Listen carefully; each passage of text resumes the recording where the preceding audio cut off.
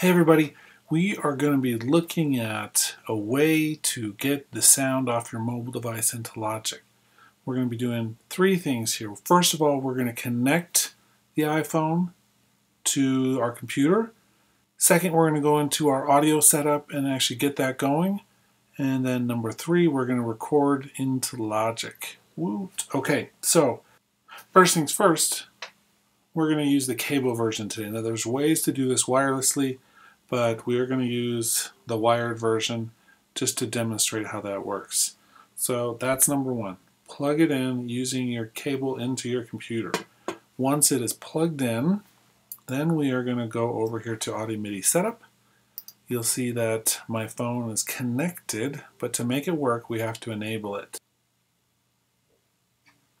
Once it's enabled, shows up here, nothing really to set here, it just tells you.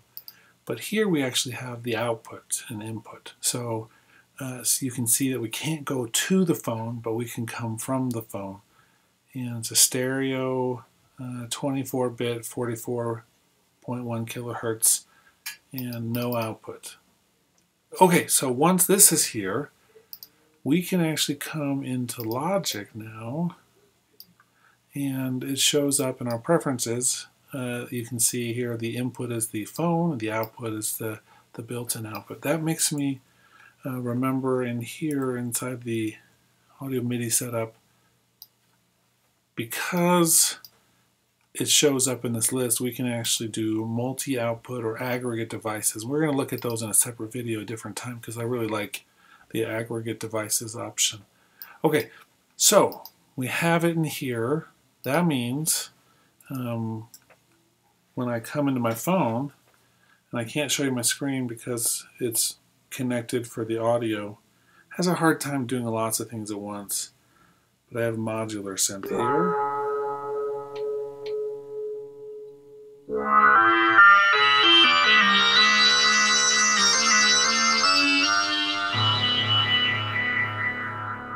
And that's coming right into Logic, so I can record that if I want.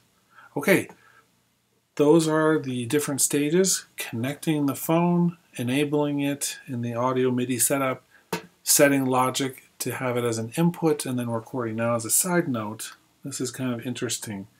If I go into my iTunes music on here, and I've tested this with protected music and non-protected, um, I can actually play this on my phone and record it into Logic.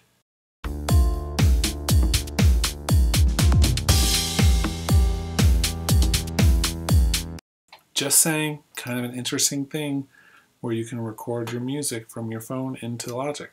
Okay, that's it for today, everybody. Hope you enjoyed this little mini, and I'll see you tomorrow.